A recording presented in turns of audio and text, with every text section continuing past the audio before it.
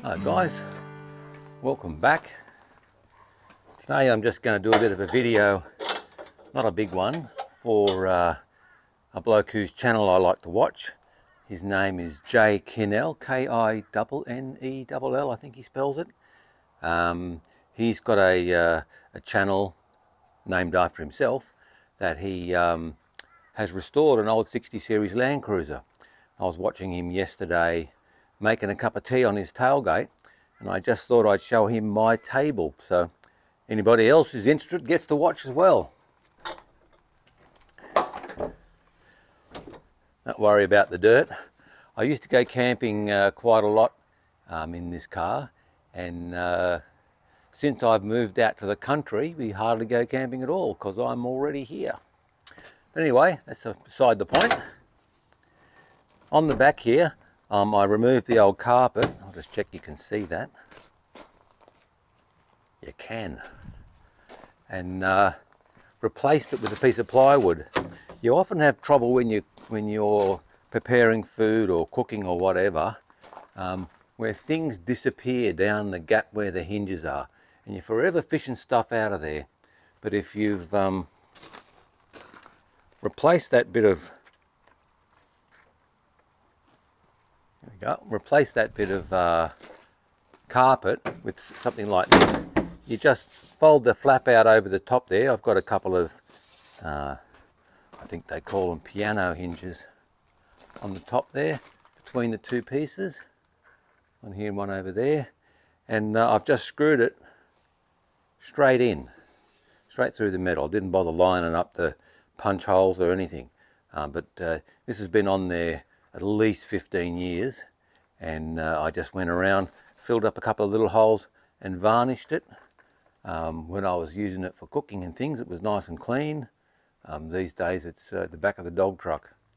But uh, just that simple flap here and uh, something that you can wipe down makes the whole back of your uh, tailgate a whole lot more usable. And it's still a, a comfortable seat when you're just drinking your cup of tea and looking out um, recent years this has become more of a dog truck than anything else.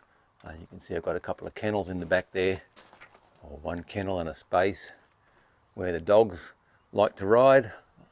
I can open up the back of the tailgate here or just the top half and they get nice fresh air in there and uh, they can't jump out. I normally leave the I normally leave the back closed so they can't get through there. This is an old cargo barrier out of a Ford. Um, I managed to line it up and make it fit. I think I bought it for 10 bucks at a, at a garage sale.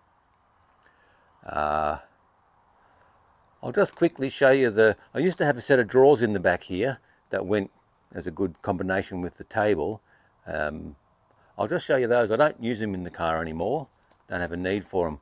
They sat around in storage for a long time and uh, I had to find a new use for them before Mrs. Shed maybe get rid of them. I'll just show you those.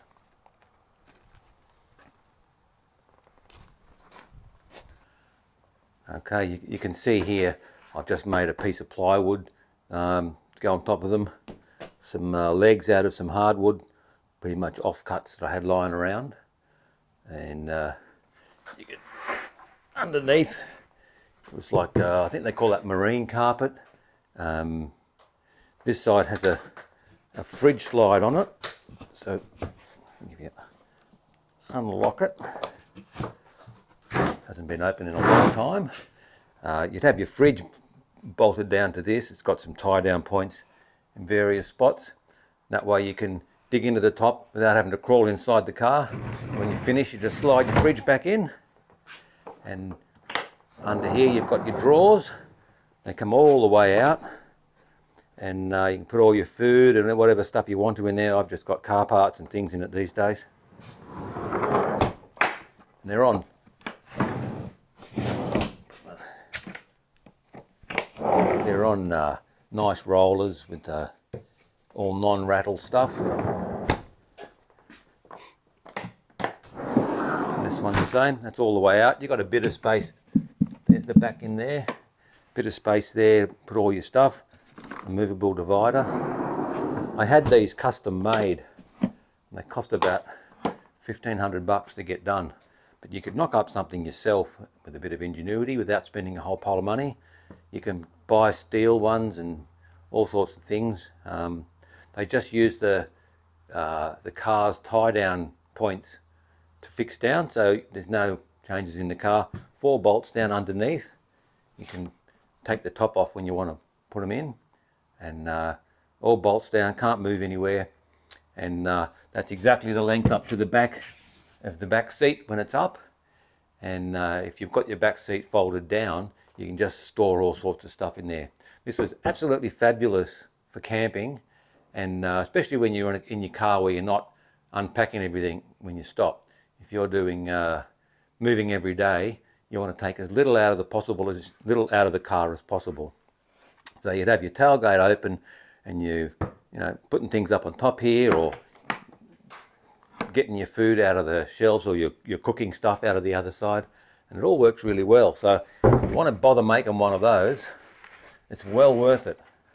And uh, people used to see it in the back of my car either when I was camping or even mechanics and people like that would say where'd you get your drawers Dave?